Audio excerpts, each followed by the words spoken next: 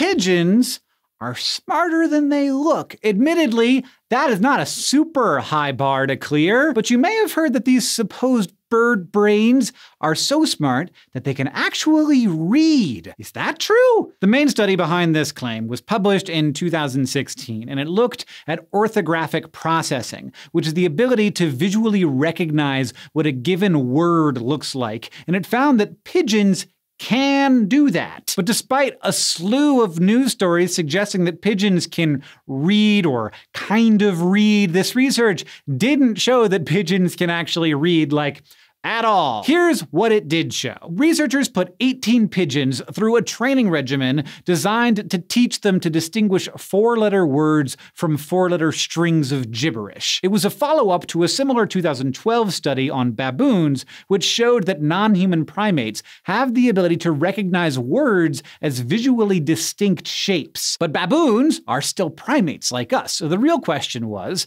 can anything that's not a primate do this? The pigeon researchers drew four letter words from a pool of 308 words previously used in the baboon study. A screen in front of each pigeon displayed words and non words one at a time, along with a small star. If the sequence of letters on the screen was a real word, the pigeons were supposed to peck the word. If it was a jumble of letters, they were supposed to peck the star. If they were right, they got a treat. If not, they got to try again until they got it right and got their treat. The researchers taught the pigeons one word at a time until they could reliably recognize it. Then, once they mastered that word, the researchers introduced another one, while also quizzing them on older words to keep their memories fresh. After a grueling eight months, the researchers identified the top four word learners. These feathered savants had learned to recognize anywhere from 8 to 23 words. These word pecking prodigies then continued their training, after which the sharpest pigeon in the bunch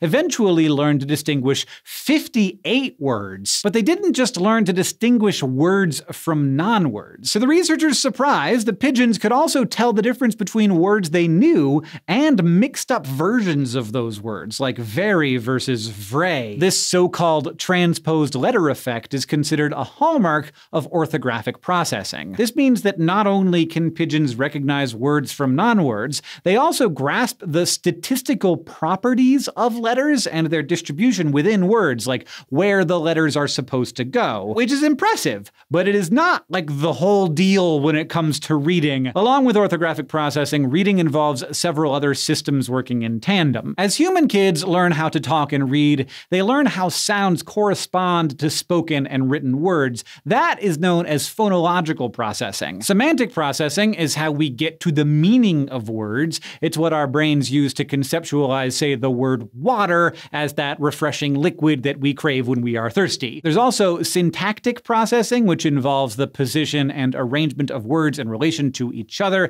and morphological processing, which deals with the smallest meaningful bits of words. Pigeons haven't been shown to engage in, yeah, any of those additional processes that are crucial to actually reading. But just because pigeons can't be taught to appreciate Shakespeare, or fanfic, depending on what you're into, that doesn't mean that the study's findings aren't exciting or important. The pigeon study gives us new insight into fundamental questions about the origins of reading and of language. Like there's a region in our brains called the visual word form area that activates when we read, but humans have only been reading for about 5,000 years. That's way too recent for a special reading specific part of our brain to have evolved, so scientists hypothesize it must have started out doing something else. Pigeon's brain architecture and visual systems are distinctly different from human brains, yet they're capable of what seems to be a similar kind of orthographic processing. That means that visual systems that aren't genetically or physically similar to humans